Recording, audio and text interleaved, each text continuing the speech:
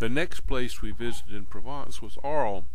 We found our hotel at Place Voltaire.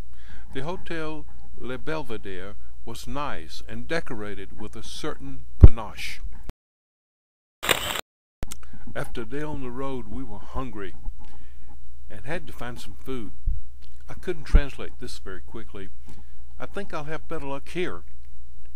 How do you say Guinness in French? Now, to do some exploring, I'll follow this street from the hotel. Wow, look at this. 2,000 years ago, this was major entertainment to the Romans. Think gladiator. All the games were free, of course, but the higher your social class, the better your seats. In medieval times, all those arches were bricked up, and there were 200 homes inside. It's been restored now, of course. Look at all those souvenir sellers on the right.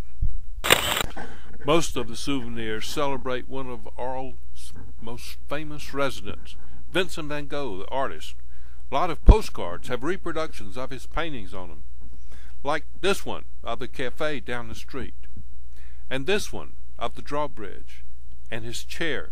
He even painted the interior of the hospital in which he was treated for his mental illness, and this is a self-portrait from late in his career. Once Paul Gauguin visited him for a while. Think about it, the dynamic duo of French painting right here in Arles. But they had a misunderstanding. Gauguin left for the South Seas and Van Gogh eventually killed himself. Hey, what's that on the wall?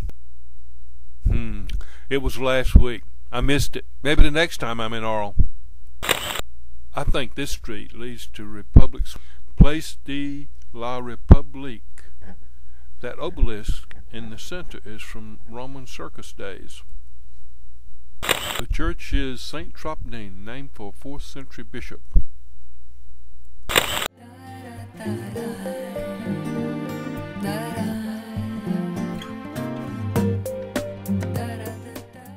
Claudette watches the children's play from the balcony or keeps tab on the French Communist Party. Great photo for the calendar.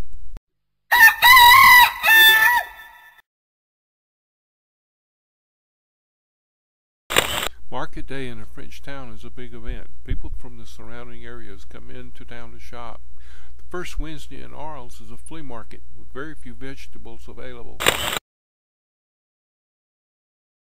I bought this comic book. It's going to be a to translate.